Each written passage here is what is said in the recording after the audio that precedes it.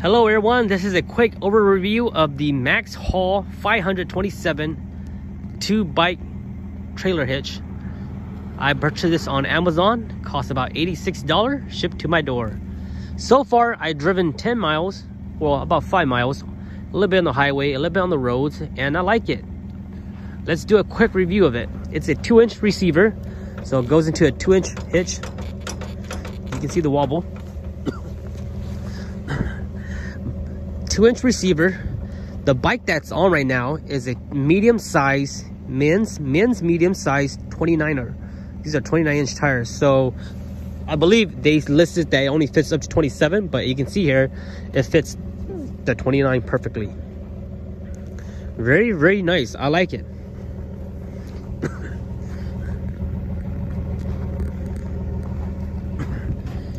Release here adjustment right here. This is a safety lock, so this thing doesn't turn.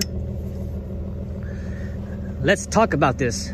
So this is a two bike platform, but where's the other two bike? Where's the other platform? So it does come with another piece of this, two more pieces of this, and another hook, but I've taken it off because I'm only gonna use this for one bike. So you can just take them out, put them in storage, save them for later, or you can use it. Here's another nice thing right here you can take this off right here and then the bike can now tilt. Just like that. This is the angle right here. Plenty of room for you to pop your tailgate. Show you guys that. So far I love it. I love it. I love it I once purchased a roof rack from Amazon made by the same company, MaxxHaul, and I put it on the my 4Runner, and I, uh, it was really nice too until I crashed the 4Runner. so these are a quick release pin. now, if you don't want to use the quick release pin and you want it to be permanent, you can just, just buy bolts and uh, bolts and washers and put them in there. these legs right here, they slide out so when you install this the only tools you need is these tools right here a socket to tighten this up. This plate right here and this little u-bolt is for you to tighten this up to the hitch so that's more so it's more stable. You can see how it doesn't shake right here. The two inch the two inch tube doesn't shake because of this piece right here. It's holding this tube here to the frame. So the only thing the only thing that wobbles is this piece here which is wobbling from here now these legs here, they come out. You can release these pins and they you can take them out for easy storage. But what I'm gonna do is that since I don't want these to be quick release, I'm gonna replace these right here with bolts. So I'm gonna put a bolt and washer, bolt and washer, and this piece here is a one piece right here and this this can also come out for storage.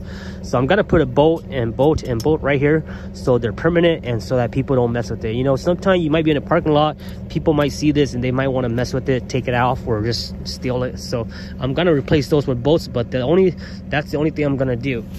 Everything else is very nice. You can release this right here slide it up and down depending how big or how wide your bike is. And then uh, you can line it up with your tires also come the tires are held by these little straps. They're really really nice and durable. So i like it. I like it i like it. So for my setup it's very easy. It's for my setup i can uh, take this off and unscrew it and then this hook will go up. But for me it's much easier if i just release this.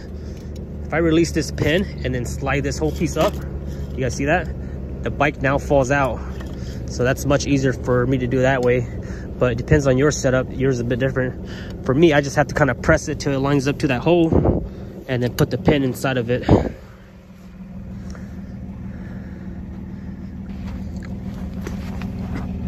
Show you guys some detail. It's really nice. It's, the metal is really nice. The paint job it's a nice paint job. I'm pretty sure it's gonna get chipped off once and then.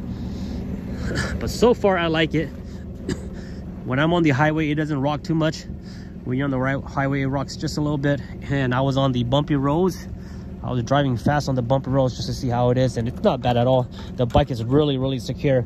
It's much better than the other roof, uh, the other bike racks where they hold it just right here. I used to have those kind, the, the bike rack where it has two posts and it just holds it by the top frame. They're nice, but again, um, those are nice, but then in your steering wheel, your front, your steering is always, your front tire is always flopping around. the frame always flop around and i really like this setup because your bike is on a your bike's on a platform secured by two straps and also secured by a third point so it makes me feel more confidence when i'm traveling on the highway or doing long distance. If i plan to do any long distance travel like i'm gonna travel for two 300 miles on the highway i will probably go ahead and put another ratchet strap just to secure it down. But other than that man i'm pretty confident that this thing here is to hold my bike and so far i like it you guys are probably wondering why why I don't just throw in the truck. Well, the reason I, I don't want to throw in the truck because when I'm doing travels, I might be packing my camping gear or might be going fishing. I might have a lot of stuff in my trunk. So it's nice to have an additional uh, bike rack to carry my bike with me. So that's the reason why I bought this. I was going to buy one on Facebook Market on Craigslist, but then most of those, most of those that are new bike rack, they're costing people are wanting 50 bucks, 70 bucks already. So for 86 dollars, I might as well just buy something new and something that I like. And this is something that I was looking for, something where the bike sits on a platform and secure down really nice. So this is what I like. I hope you guys enjoy this little overview. And uh, this is the MaxxHaul 227 or something like that and this is not a sponsored video. I just enjoy their product and figure i make this video to help you guys. Really really nice. Very easy to assemble. You can get this assembled within 15 minutes. One person is all you need. And uh, assemble it adjust your bikes. Once you're done once you're done adjusting you're pretty much set for the way it is. And all you got to do is just take that post off take your bike off un unloosen the straps and you're pretty much good to go. Hope you guys enjoyed this little quick review. If you guys got any questions leave in the comment section below Catch you guys next time.